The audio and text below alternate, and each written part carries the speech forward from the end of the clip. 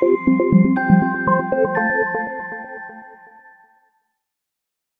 Shopify store owners, in this video Justin will be showing you how to create a Facebook ad for your Shopify store. Hi, this is Justin from OSI Affiliate Software. In today's video, we're going to be going over how to create a Facebook ad to drive more traffic to your e-commerce website. So first what you need to do is make sure you have a Facebook page. Now I quickly set one up for standard sneakers and as you can see it's pretty empty right now but that's all I need for now. You can of course add more information, but just for now, what we're going to do is go over here to this drop down arrow and click on create ads. So there's several options here and we're going to use clicks to website. Now we're going to insert our URL. Okay, now that I put in my URL, it's going to scan it, and as you can see, it gives us a image to use. However, I don't really like that image, so I'm going to get rid of it and add my own. Okay, so I've put in my image just a picture of a sneaker that I might be selling. Uh, this one's pretty standard. And as you can see, it's got a plain background so you can clearly see what I am showing. This image is very important because it will show up in your advertisement. Okay, so now that we've picked out our pictures, now what we need to do is select what page we want this to be for. So we're going to select our e-commerce store. And now we get to edit the headline and text. So for the headline, I'm going to put in something that will describe what I am trying to get people to check out. Okay, so I just typed in great selection of shoes. As you can see, you do have a limit for your headline. I actually only have one character left, but here is what it's going to look like down here.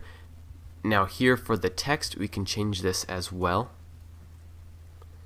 And basically, we can give them more context as to what they will find whenever they click on our link. So as you can see, I am promoting this 50% off sale, and I'll even add the word sale right here, just so they know uh, that we do have a sale going on uh, for all of our shoes at standard sneakers that are running shoes. So we've given them some context. Now here on call to action, I'm going to add the shop now call to action. It makes a whole lot of sense since people will be wanting to shop. So I'm going to add that button. You can of course change this um, depending on what your website is doing, but odds are you're using an e-commerce website, so shop now makes sense. Okay, so we can see what this looks like on a desktop in the newsfeed, but we can also look see what it looks like in the mobile newsfeed, as well as what it looks like in the right column. So all that looks great. I'm going to keep it just how it is, and uh, let's keep going. Now here at audience, this is actually very important. You need to define who your audience is.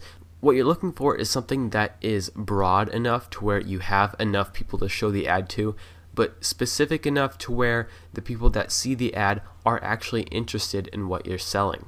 This is of course going to depend on what you're selling, but here on age, I'm looking for younger people, so we're going to go 18 to 35. I'm going to target both genders and we'll put the language to US English. Here on more demographics, we can add some more constraints such as only look for people that are in a certain relationship status. However, that doesn't really have to do a whole lot with shoes, so I'm going to leave these how they are. Now here on interest, you can actually find some good ones. For instance, there is an interest for shoes. That's definitely something that's going to help us out. We can add others, like there might be one for running. As you can see, there there is an interest group for running. Alright, so right now I'm targeting shoes and running. This is a great cross section as I'm selling you know running shoes so people are interested in shoes and running will be seeing my ads. Here on behaviors we can also look for certain people's behaviors such as we can look at their purchase behavior here and we could go under here to health and look for people that buy for instance vitamins and supplements as these might be the same people that are running. There's also the uh, running behavior which I would add as well as well as shoes once again and uh, I'm gonna keep it like that up here we can see how our audience is looking. As you can see, we're right in the middle of broad and specific. Our potential reach is currently at 1.2 million people. Now, if you needed to, you could change your demographics to get a little bit more specific or broad. For instance, I could change my age to only look for people that are 18 to 22, and that decreases my potential reach to 320,000. But that's not what I'm looking for. Um, it's not going to help me out a whole lot. I like my reach how it is right now. So let's keep going. Okay, so here on account and campaign, we're going to keep this at uh, US dollars, and this is my time zone. And uh, we'll give this ad a name. We'll call it uh, Running Shoes Sale. And for our budget, we can change this to whatever your budget is. This is, of course, going to depend on uh, what your budget looks like, how much you're willing to pay.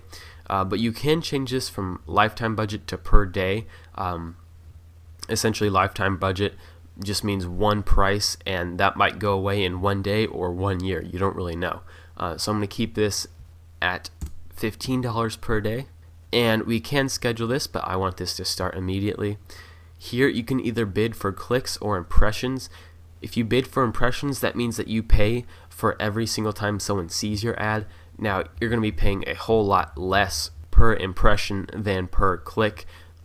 So this is really something that you could mess around with, but I want to just bid for clicks because I'm looking for people to click, not just to see my advertisement. Now here on pricing, I think it's important to try manually setting your cost per click. This is basically how much you're willing to pay for every person that clicks. So you could keep it at you know something that they suggest. Uh, they suggest 40 cents to 76 cents. Personally, I would try sticking around this lower value as you can usually get quite a few clicks um, even at lower values.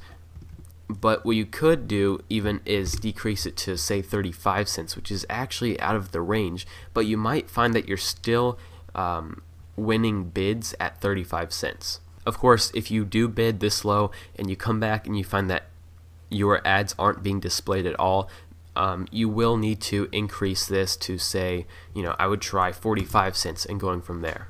And now once you've done that, you can just click place your order and you are done. Uh, Facebook will just walk you through adding your payment options. This has been Justin from OSI Affiliate Software. I hope you enjoyed this video and please check out our other videos about e-commerce marketing.